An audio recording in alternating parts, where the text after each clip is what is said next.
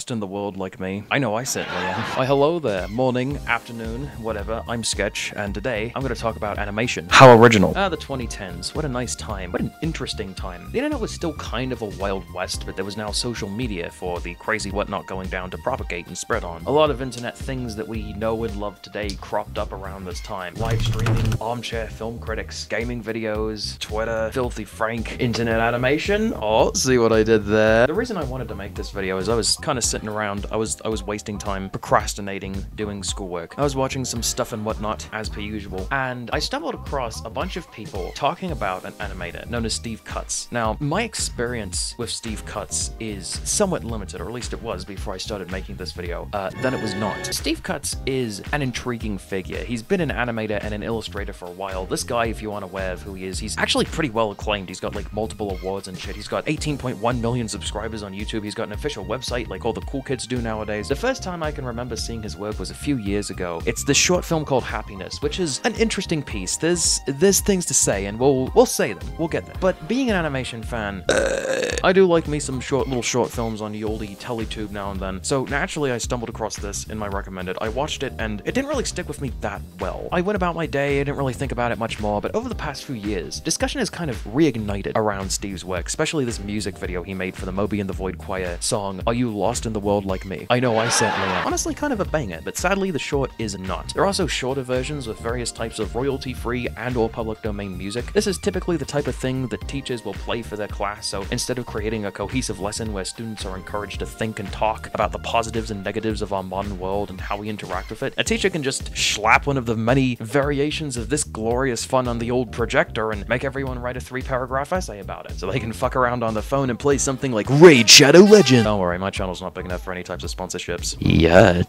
This is your cue to subscribe. But yeah, our boy Steve here has made a lot of uh, a lot of stuff, a lot of things. We are going to look at them. But before we begin, I want to make two statements. First of all, a little bit of a content warning here. Steve's animations are edgy, but in talking about them, I briefly mentioned some things like so full disclosure there. Secondly, don't harass Steve or anyone else I mention in this video. We're just taking a look here. We're just making some scientific observations. We're having a little bit of fun, as it were. So going out of your way to bully anyone for no reason other than them just doing their own thing on the internet, even if it is kind of cringy, just makes you look like a loser with no life and no pitches. With that being said, Steve's IMDb lists his first film as In the Fall. It came out in 2011, and it's not terrible, I guess. There's a depressed looking guy watering some depressed looking plants on top of a depressed looking building in a depressed looking city. Slash relatable, am I right, boys? He trips on an uh. annoyingly obvious banana peel and starts plummeting to his death. This video has no hope of ever being monetized. The way that he falls off is kind of played off as a dark humor joke, but it's not very funny. It's not very comedically satisfying, and I think that's due to the pacing being a little choppy and the animation being a little jank, which is going to become a theme, as you shall see. But yeah, this could have been handled a little bit better. As this guy is falling to his inevitable doom, his life flashes before his eyes. And the way that this is handled is a bunch of birds fly in, holding a projector and a screen, and they play a highlights reel of his life. Which, let me say, if my death is preceded by a fucking clip show, I need to find the key to immortality and fast. Although I do love the way it starts. It's fairly obvious. He begins as a child with vim and vigor and happiness, and slowly becomes a depressed adult with a stagnant, meaningless job and no bitches. The reel ends, and he's just like, well,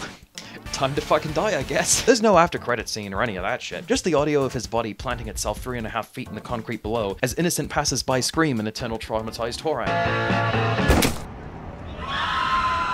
How fun. As far as I can extrapolate, the short focuses on how life sometimes becomes miserable, and yeah, that's about it. This seems to be more of an oddly elaborate vent post. I'm sure that won't happen again. I imagine Steve likely was and possibly still is working a boring, meaningless, dead-end office job to support himself while he focuses on his art. Understandable, a tale as old as time, sadly. Now, maybe you could use that to say something about capitalism or greed or corporate structure, the result of living in a reward-based society, or even maybe money as a concept, and that might be really interesting. That might make people think. That's some free ideas there for you to steal. But In the Fall doesn't have any of that. A guy's depressed, he falls off a building, and he fucking dies. That's about it. The animation suggests that this fellow gets to 50 exactly, which means Steve was kind of writing over his head here, because according to his IMDb, he's 28 right now. Granted, I don't think that's true at all, since that would mean he would have had to have graduated college and started his professional career at about 14? Who knows, maybe we got a regular Hiro Hamada on our hands. But he went freelance in 2012, a year after he made this short, which means he was 16 2013? well, take that, animation meme community. Steve Cutts is very proud to be inspired by 1920s animation, the kind of rubber hose type deal. And that's great. I love the 1920s animation style, but other than a somewhat distinctive stylistic choice, I'm not sure what it achieves here exactly. Maybe Cutts is trying to say that he thinks society is not improved for 100 years? Possibly, but he breaks away from the style in shorts with similar plot lines and theming, and uses it in others that don't, so I don't think that's the case. The only conclusion I can come to is he likes the way it looks, so he uses it sometimes, which is valid, and something I even do myself, but this is based on the first type of animation that ever existed. You could say something with that, you could do something with that, and Steve kinda sells himself short by not, especially since the 1920s illusion kind of gets shattered when you see a mid-2011 27-inch iMac aluminium sitting on the guy's desk, making him hate himself. Although, not gonna lie, if this was the computer my company I worked for supplied me with, I would have to go on a fucking rampage. Cutts tends to make very nihilistic material, and in the interviews that he has, he talks about how his work is satire, and not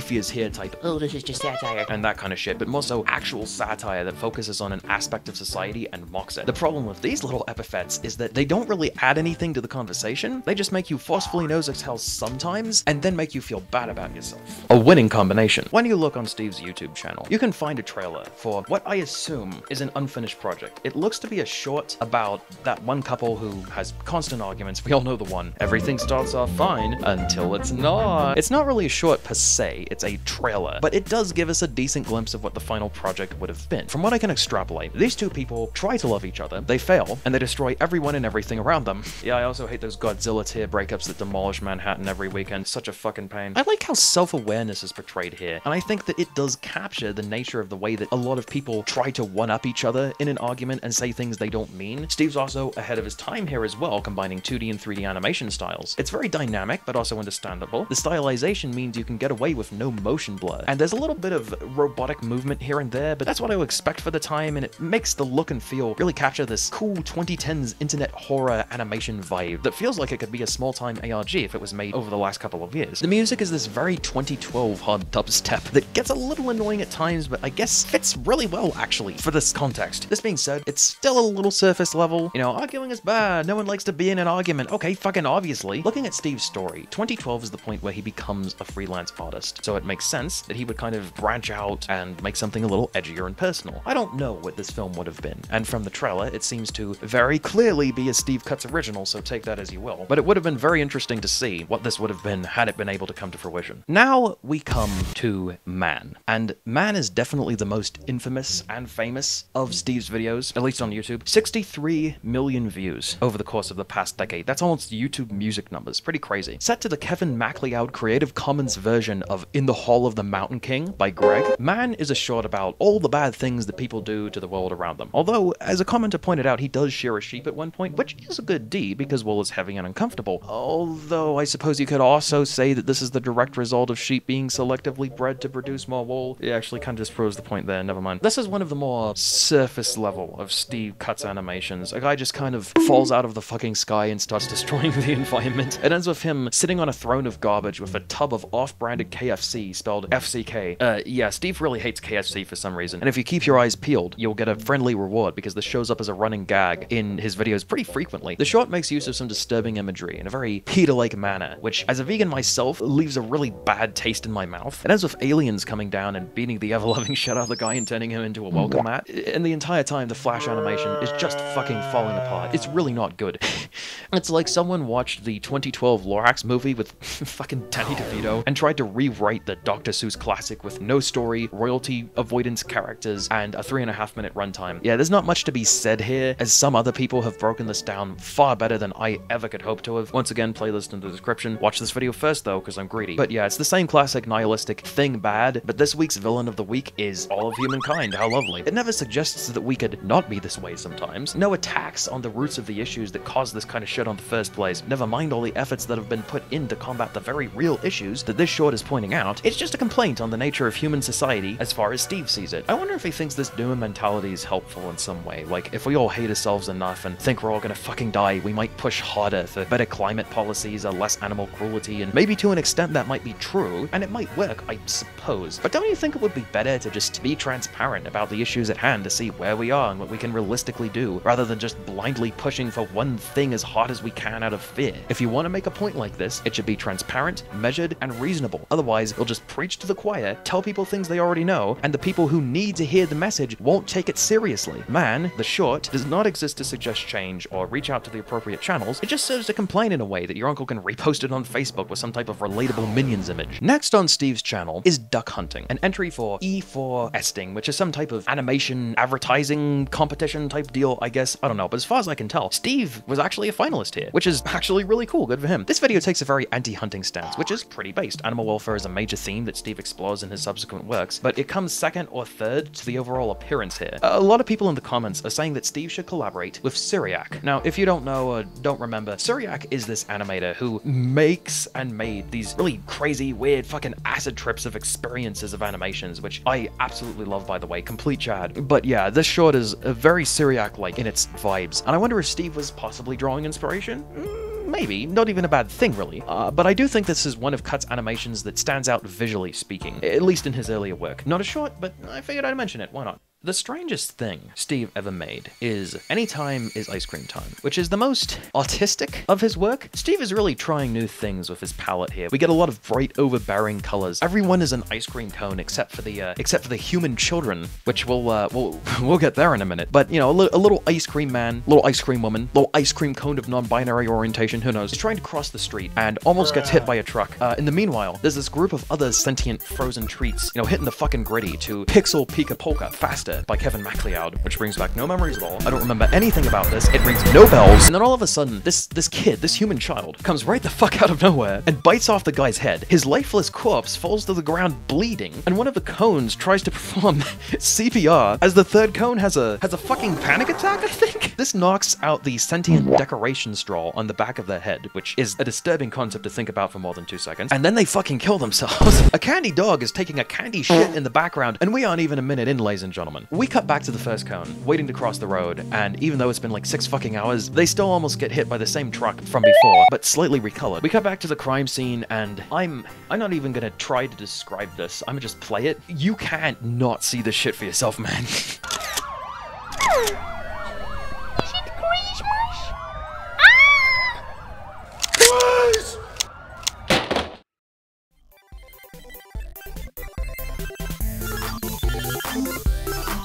You know, it's very rare that I am at a complete loss for words. But what the fuck am I even supposed to say here? Like, what? Dealing with the loss of their friend. Uh, The sole survivor of the incident is grieving near the edge of a cliff, and I swear I thought they were gonna commit a Bonnie and Clyde. Good god. But what we get is even better. Yay! They're driving along, just going about the, the sad, sad way on this sad, sad day, and an ice cream truck pulls up alongside them, playing an ear-rape version of Yankee Doodle Dandy, which is very pleasant to listen to. Inside are some new friends. Hooray! Dancing to the same music as before? How fun! Get out of my head, get out of my head, get out of my head, get out of my head, get out of my head, get out of my head. So they're driving, they're dancing, they're jamming. They're also not paying attention to the road. And they hit the cone, who has been trying to cross from before for like probably an entire week now, maybe month. They fucking splatter across the windscreen. And despite the horror of what they've just witnessed multiple times, the survivor cone turns on their windscreen wipers and is smearing the corpse of this other cone all around his windscreen. They swerve and hit the ice cream truck and it flips, leaving a colorful pout of iridescent death on the highway. All the time, Pixel Peeker Polka is playing over all of this. It does not let up. It does not stop. And I gotta say, man, I feel for you, bro. You deserve better. There's a cool plus ability of survivor's guilt moment of silence, and then a bus of screaming human children show up and start eating the dying ice cream directly off the asphalt in the goriest detail possible. As Pixel Peeker Polka relentlessly continues, I said that wrong, I know. I'm not going back. Fuck you. This goes on for way too long. The survivor gets picked up and presumably consumed. The final scene is this little decoration straw who's in a padded cell now, which honestly, I think I, I need one myself. Good god. Okay, so after a solid month of deliberation, I think the best meaning I can possibly extrapolate from this is no matter what horrible things are going down on a personal level with a single person or a small group of people, the world just continues on with cold and uncaring, no matter what type of cheerful music we try to put over it. More likely than not, I'm overthinking it, and Steve is just having some fun being weird and edgy and lay epic random, which was common for the time, but with a horror twist. Actually kind of creative if you think about it, but my god, can you not unsee this once you've watched it, especially if you've watched it over 10 fucking times. Up next is What a Hunt, which is the lowest rated of Steve's work, at least on IMDb, and is the most transparently venti of his animations. It's also the poorest, just from an art standpoint alone, because Steve tries to parody art styles from a bunch of other cartoons and animated movies, which I suppose I can give him an E for effort, but I'm sorry, this just does not look good. I know it's deliberately trying to be bad, but still, oh god, why does it always have to come back to The Lion King? Plot-wise, there's really nothing here. A poorly animated character goes about shooting various cartoon animals from classic animated films and TV series. The survivors of this carnage band together and demolish Hunter Melissa Bachman with assault rifles and Kalashnikov. Once again, based, but why? Admittedly though, I do like how the sloth leans in to clean the camera lens as she gets blown away. Now, as far as I understand, this is roughly based on a celebrity who went hunting in Africa and there's a big public scandal about it. Okay, there are plenty of injustices and atrocities caused by hunters the world over, and I agree, that's pretty cringe, that's not very based. But I'm not really sure what making a full-ass animation about it really achieves, per se. Don't you think it would have been better to do something along the lines of eh, maybe put a lot of effort into making a creative, meaningful short film that gets a lot of attention and a lot of money, and donating a portion, if not all of it, to a legitimate charity that strives to benefit animal welfare in those areas, or just in general? It's clear that Steve cares about these issues, but this short doesn't really make anyone's situation any better. Now, granted, this is a bit of a low point in Steve's career, so let's see what comes next. Moving right along, we have Where Are They Now, which is an interesting idea. Basically, Steve's imagining the depressing neutral ending fate of beloved cartoon characters, now retired or just out of their prime. I suppose that some might be a little put off by the design of Jessica Rabbit, who is the star and narrator of this short. I'm not even going to touch that debate with a 10 foot pole, but there you have it. This is actually some of Steve's funnier work, uh. and despite the animation being a little janky, it lends itself to the overall disgustingness of what the world has become for the icons it stars. We see the return of FCK. All Jessica seems to do nowadays is spend all her money on fried chicken and watch TV. I like how Roger jumps up to watch sports every time she leaves. I also love how unabashedly gay He-Man has become. Slay Queen. Steve is getting better at capturing the styles of animation he's satirizing, and seeing the overpowered superheroes of the 80s fucking around in a grocery store like children is quite entertaining. Steve's sense of comedic timing is getting better, and he also voices all of the characters in the short. Honestly, he's pretty good. The ending is very odd in classic Steve Cutts fashion, but I think it's worth a watch, so I will leave it unspoiled and linked in the description if you find yourself interested. Maybe I'm a little biased after watching a large amount of Steve's earlier not as good work, but yeah, despite clearly writing not being one of Steve's fortes, this is definitely one of the higher points as far as his humor is concerned. Now we come to the walk home, and this is where Steve is trying to experiment more with some more serious and darker themes. We open on a cold, empty city where a street kid is being bullied and beaten in a rough area. This is represented by a bunch of dynamic illustrations that kind of look like those trippy boxes for hard cider you buy at Target. I think this is trying to say that uh, because of what he's seen, the kid here thinks that everyone is an inhuman monster who thirsts only for money and destruction and power. It's pretty par for the course for Steve. Lots of nihilism, lots of violence. Uh, this goes on for too long in my opinion. Like, we get the fucking point already, Jesus. Now, when the short starts out, most would think this is an ordinary Cutts animation, but then it takes a turn. In running away, the boy heads down an alleyway, and in this cold, empty space, he finds himself standing over his corpse. Another nameless innocent who deserved to live and didn't. The ghost of past victims come out to greet the boy and accept him. He looks around and he sees the evil peeling off the living people around him, and his perception starts to change. He realizes there is more to everyone than what he sees, and finally he must confront what I assume is the person who killed him? Maybe not. It might just be a general evil guy. But then the music becomes foreboding. The figure turns away, and the short ends. I really like this one. Steve finally takes his work seriously and tries to become less surface level. I think the more typical Steve cutsiveness, if you will, could have been cut down significantly at the start. I think he was trying to work within the confines of the runtime of the song, which works very well during the end, but really starts to drag in the first half. The way the animation moves sometimes can take away from some scenes, but in others it feels like an uncanny dream, which works really well. This kind of reminds me of the New Divide music video, actually. The entire thing is in Steve's classic black, white, and yellow, and it's utilized very effectively here. The music is perfect. It has this kind of chilly, urban feel that fits with the animation just perfectly. Steve's work is improving, and with these past two successes, one might even be led to believe that this means a change in the right direction. Right?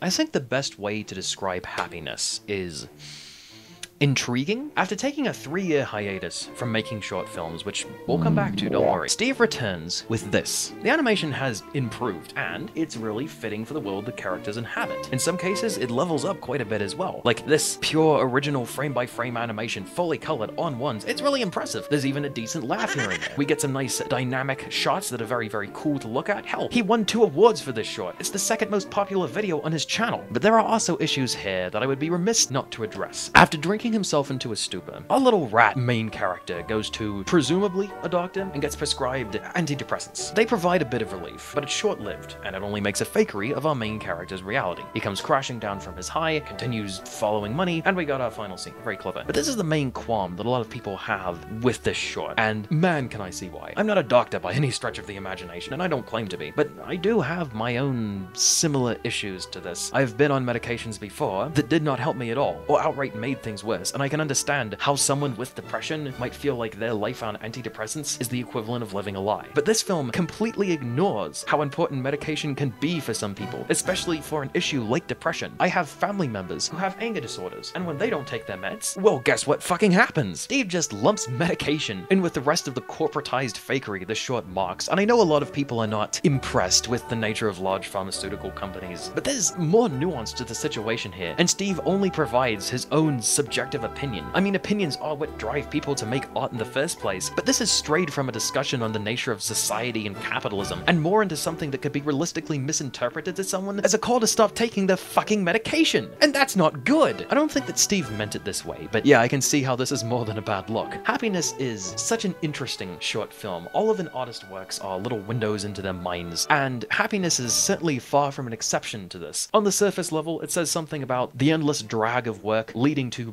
consumerist escapism, which requires more money, which requires more work, which leads to more consumerism, an endless cruel cycle where everyone is miserable. I know that sounded like something Jimmy Kimmel would say, that's kind of the point. But happiness is more than that. It makes a point, yes, but mostly it tells us about how Steve looks at the world. I've been using nihilistic a lot here, but I think you can fucking understand why. Throughout the short, we see a cynical mockery of the things that most people enjoy, reduced to corporatized dishonesty. And as true as this can sometimes be, I wonder if this is the only way that Steve is able to view the world around him anymore. Don't get me wrong, it's a pretty dead-on representation of what having depression is like. Trust me, I would know. But as much as I criticize this short for its problems, I gotta ask, man, Steve, really, are you okay, bro?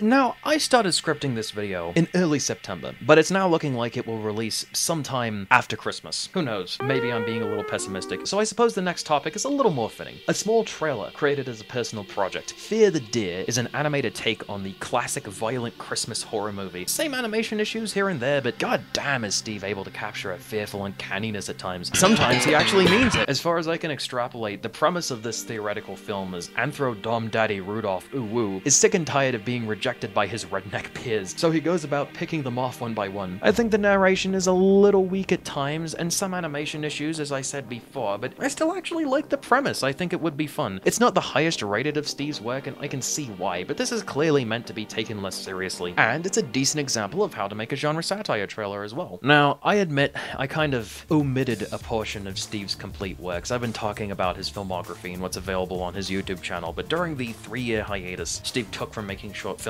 back from 2014 to 2017, he was getting gigs doing animation and even directing other exterior ventures. The Water Rooms, which despite its title is not an expanded ARG, but instead a short about water, how we get it, where it comes from, really gives off early Kurzgesagt vibes actually. We all need water.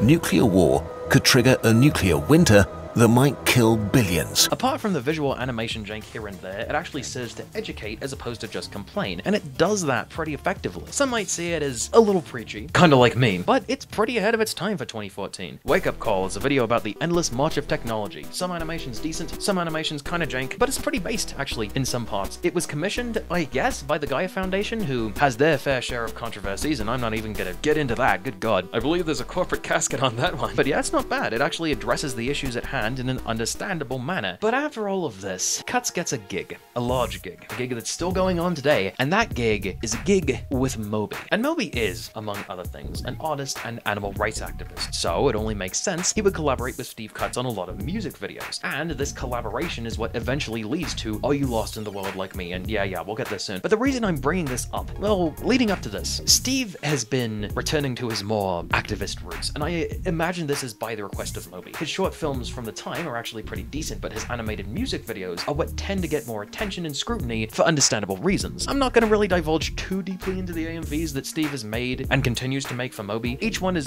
pretty much par 4 as, Steve goes, and Moby is his, his whole own kind of worms. But the point of this is, you can clearly see the influence bleeding into Cutts' next film, The Turning Point. When this film started, I thought it was to be some type of cool, uh, like one final bottle leads to trash causing the planet to fucking explode or some shit like that. And the way that it starts and the title might lead you to believe that. But here, that's not the case. It's a film about pollution, but the roles are reversed. And yeah, that's pretty much it. Greed, apathy, conspiracy, and consumerism lead humans to eventually becoming extinct. It's everything you might expect Steve to do in a Moby video, except it's his own short film. Steve already has three awards under his belt at this point, and as far as I can tell, he hasn't won any more, but it does feel like he's kind of fishing for what worked the last time. I suppose Steve is trying to pull on our heartstrings by making the humans suffer in place of the animals, but I'm sorry, I just can't feel sympathy for characters who look like this. It's ironic how Steve still draws humans as horrifyingly as possible, even though they are ultimately the victims here. See, Steve normally draws people to look more disturbing and animals as innocents caught in a bad situation, and it's the same appearance here, but the animals are the ones in the wrong, and it feels less like a meaningful artistic choice, and more like Steve is just trying to punish the humans as much as possible, no matter what situation they're in. Now, this is one of the better statement shorts Steve has made. It is a little venti, yes, but it actually addresses some of the roots of the issues. But it is, for the better or the worse, undeniably the work of Steve Cutts. During the lockdowns, Steve didn't have that much to do, presumably, as he turned out another animation in just four months. Man 2020 is the sequel to the 2012 original, and it takes inspiration from how nature flourished while people were forced to stay inside. Although this wasn't entirely true, seriously watch the Global Weirdo video, it's amazing. After this, because I'm greedy, there's actually a little humor here and there, and the timing of the jokes is better. Uh, if you have no context, you might not fully get this, but it's a fun little sequel. Uh, Steve's animation is still improving, uh, and man, you know, the man still has some amount of awkward jank to him, but I think at this point, it's a deliberate creative choice. The music cuts very annoyingly for time reasons, and I understand that there's time limitations, but my god does my brain hate the way that these chords don't line up properly in the context of the original song. It is marginally better than the original and gets one or two forceful nose exhales out of 10. Why did I say that like it was a rating? The newest thing Steve has uploaded is A Brief Disagreement, and it's pretty good actually. See, the interesting thing about A Brief Disagreement is it's entirely filmed, or animated to be filmed, in one shot. 1917 could never. And it is entirely frame by frame. It's fluid, it's dynamic, it's set to some badass music. It really reminds me of the first Side actually, which is a plus in my opinion. The world around the humans changes, but the humans never evolve, remaining in their Neanderthal form. And yes, I've watched enough Gutsick Gibbon to know that humans and Neanderthals were entirely different species, and eventually Neanderthals died off, but they're kind of analogous here. The pacing is really good. The timing on some of the jokes is quite humorous, but I love the way that it starts off as a disagreement over the largest gold nugget. Like, there's more gold on the ground, enough to be shared, but almost immediately, the nugget is thrown to the side and it becomes a fight for fighting's sake. In the end, the two Neanderthals come out of hiding in their bunkers, and you might think that they make up, but they don't. The sad music continues, and so does the fight. And I get that it's sad that these two will never stop fighting or whatever, but I think that Steve kind of misses his mark. I think he kind of misreads the room here. It would have been a whole lot funnier if there was just no music. With that being said, it's got the usual Cutts nihilism, as people have pointed out. Not all wars were equally as pointless, but yeah, this is, in my opinion, some of Steve's best work, at least animation-wise. The whole thing is just well done. And with that, we've pretty much covered Steve's entire filmography. With one exception. Ooh, Brian. Ooh, ooh, Brian. I don't like all these people on their phones, Brian. I want them to pay attention to me, Brian. Ooh. Okay, so I admit I've been putting this off. It is now time. Time to talk about Are You Lost in the World Like Me? Are you? Maybe. I guess there's only one way to find out. God, I hate the fact the title of this song is a question. Okay, so back near the end of Steve's hiatus from short films, around late 2016, you might remember he was making animations for Moby. This animation got released as an AMV and a separate short. Shorts. Eat my shorts. This is the reason. This video is the reason why a lot of people don't like Steve Cutts. It's overplayed in schools, I guess, but mostly it's more so an epic I'm 14 and this is deep type situation. According to IMDb, Cutts directs the videos he makes for Moby, so I don't think that this was much to do with Moby's input, but more so Steve himself. And yeah, it has it, it has a very Steve Cutsiveness to it. And yes, I am going to start using that word in my regular vocabulary now. Bite me. Daddy. We open with our titular main character standing in the middle of a square with a bunch of randos pushing around him on their phones. Phone bad. Phone bad. Phone very bad. These fucking idiots falling into an open sewer, walking around like zombies, having a having a grand old time, being depressed as it were. A bunch of people are recording an act of police brutality against Mickey Mouse. A bunch of people are hanging around on their phone in the subway. And I mean, how is that a bad thing? Like, what the fuck is there to do on the subway? I've only rid the subway a few times, and I had a shit ton of fun because I was a kid and I never ridden the subway before. But when you ride the damn thing every day, hell, a lot of these people are probably just trying to mind their own business and not get beat up. The kid bumps into some people and they turn into demons, but these people aren't even on their phones. Maybe Steve's trying to say that technological overusage can make a lot of people angry for no reason. But in this bubble universe, you're either on your phone or you're not, and they're not. So why is this bad? The kid sees a guy harassing a woman on the subway and has a fantasy about beating the shit out of him because all conflicts are best solved with violence. But it's clear that he would only do this for the approval of the people around him, which is what the rest of the people are doing anyway, just on their phones. There's this really stupid scene where the kid is sitting on the sidewalk, a puppy comes up and starts licking him and being all cute and shit, and a random guy just fucking kicks the dog for no reason. It's supposed to be taken seriously, but I just can't. There's a girl out on a date with some stupid, boring nerd, and she just kind of swipes through guys she doesn't like until she finds someone who's conventionally attractive, because as we all know, it's unnatural for people to be choosy, I guess. And I mean, yeah, it sucks to be that guy, but still, this is not a problem with technology. That's just the dating world. Who hurt you? These eyes on devices at all times signs, I fucking swear. That's fine. Oh my god. So now we see the kid running around trying once again to get the attention and approval of his peers, and you know, you just fucking know this little bastard got his grubby little mitts on a phone. He would be the most annoying attention-grabbing little shit on social media. This one girl does an embarrassing bad dance and copy-pasted people mock her for it. Pay attention to this class because it comes up again. Just you wait and see. A bunch of people are worshipping someone for getting implants. I guess this is supposed to be a bad thing. What does this have to do with technology? Hey, remember Sleeping Beauty? She has a phone now! What a bitch! Man, I hated that part of the beloved classic 1959 Walt Disney film where Snow White got completely absorbed in her Tumblr Ask Me Anything page. So the girl who is being relentlessly mocked is now about to commit Roblox oof, and everyone just fucking films her doing it. Actually, no, they take pictures. This is complete hogsshit. These people would be filming like they did before with the epic police brutality, not filming a pic that violates the terms of service of almost not snapping a pic that violates the terms of service of damn it, not snapping a pic that violates the terms of service of God damn it, not snapping a pic that violates the TOS of most major social media websites. But yeah, if somebody actually did this, people would at least try to fucking stop them. There are absolutely times when bullying and trolling have gone too far on many a website and social media app. But this just reduces suicide to a pathos tool on top of being corny as fuck. I do like the design of vintage YouTube though, it's very well done. File compilations have mostly died off nowadays, and if someone wants to make a fool of themselves, they do it on TikTok. But this is very period specific and not at all accurate anymore, but fitting for the time I suppose. It ends with everyone walking off a fucking cliff like lemmings, I guess. Which they actually don't by the way. And we end this critique of technological overusage and big money advertisation with a subtle bet to check out the rest of the album. It's also fucking priceless that this song isn't mainstream enough to be on anything but the internet. So the only way to watch this video or hear the song itself is with a computer or phone. I mean, I suppose you could use your Samsung smart fridge, but you get the point. Are You Lost in the World Like Me is absolutely Steve's worst work. I do like the fake Instagram white woman pretending her life is perfect when clearly it's not, and the restaurant full of people taking pictures of their meals for Instagram that no one gives a single fuck about. All the stuff you would expect to see lying around is era appropriate for the early 20th century. Steve does a good job of really capturing the 20 style he's going for, at least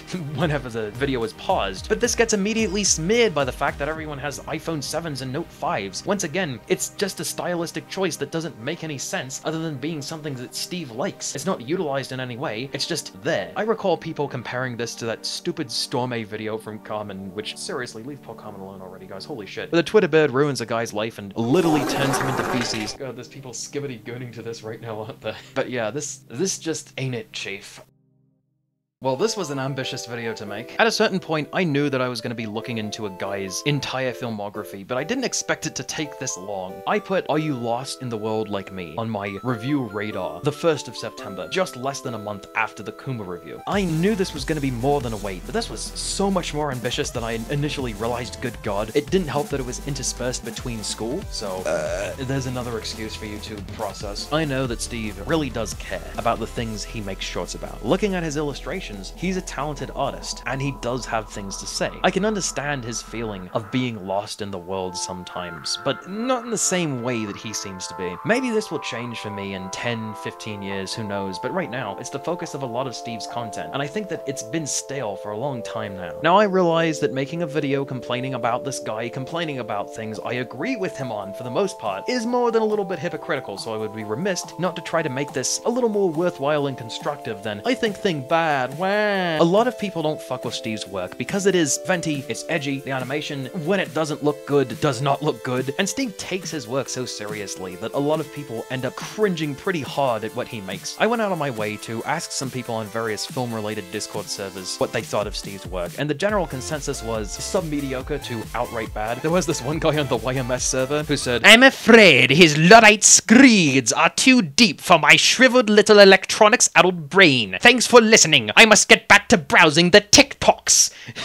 God, I want to print that out and hang it on my wall. He seems to have these weird self-hatred fantasies that he turns into vent posts like this, and using his struggles to create art is perfectly valid, but people are gonna get turned away when 65% of your filmography is edgelord vent posting. Like, even his channel avatar is a guy screaming about how much he hates his job. Steve wants to be an activist, and maybe he has swayed a tiny amount of people away from some things that are harmful to the planet and to humanity and shit like that, but as a whole, this is not activism. It's slacktivism. It's the kind of thing that's only possible to do if you have a large following on social media, ironically enough, which is another thing that people aren't going to like. It's the equivalent of slapping a snarky bumper sticker on your 2007 Toyota Corolla and pretending like you made a difference. All that does, however, is make the people who agree with you agree with you, the people who disagree with you disagree with you, and nothing of value is said or achieved. If you want to make a difference, do something. Donate, lobby, educate people on how we can fix the things that need attention. Another major reason I think that Steve pisses so many people off is he takes the role of a passive observer, and a lot of times it feels like he expects everyone else to do the heavy lifting while he gets the recognition for making surface level observations. These shorts take a problem, point to it, maybe make some entertaining epithets sometimes, but mostly make you feel bad and self-conscious without suggesting a solution or making an argument for change. I think Steve sometimes spends too much time on the animation, and he doesn't have time to make the writing or extrapolation of deeper meanings a priority, especially since he's a one-man team as far as I can tell. Actually no, Moe looks over his music videos that he makes, I would imagine, and that's some of his more infamous stuff. Okay, maybe he needs some other people looking over what he makes. Since there's no dialogue or voice acting in most of his stuff, basic emotions are all that he tends to portray. Now you can do a lot with this, and it can let you hit a larger common audience, that's true, but it also makes for limitations in how effectively you can divulge into specifics, which Cutts rarely does. I think he started off making edgy humor posts that he found funny in his newfound freelance freedom, but as time went on, he became more nihilistic, and this reflected heavily in his work. He's now found an audience of boomers and doomers who don't really think about the things he's trying to say outside of relatability and collectivized fear. And the thing is, when Steve strikes out on his own and does something creative, it can be really cool. You can even see some of his better roots coming back with the wry humor found in his newest stuff. That being said, we are complicit in his nihilism to an extent. Are you lost in the world like me? Won an award. Happiness won too. I think the best thing that we can do is vote with your likes, vote with your views, show Steve how much his craft is appreciated when he really tries. When he's original, Steve is capable of making impressive things, and if you watch and share his better and more meaningful works, I think he'll reward us with more. I was debating whether or not to rate all of Steve's works as I went through them, and I decided to not. I'm sure this video has swayed your view on this topic to some extent. It is transformative content after all. However, I would recommend that you check out Steve's works for yourself if you really want to form a more unbiased opinion. Once again, don't give Steve or anyone else I mentioned any hate or grief over any of this. I think that mostly he could do with a healthier outlook on life, something that's helped me quite a bit. Maybe talk to a therapist, as we all should, and perhaps there's time for a break to get his priorities straight. Steve Cutts is, dare I say, a good illustrator, and a good animator when he really tries. And I think the quicker he moves from the past, the better his craft will become. I wish him the best of luck.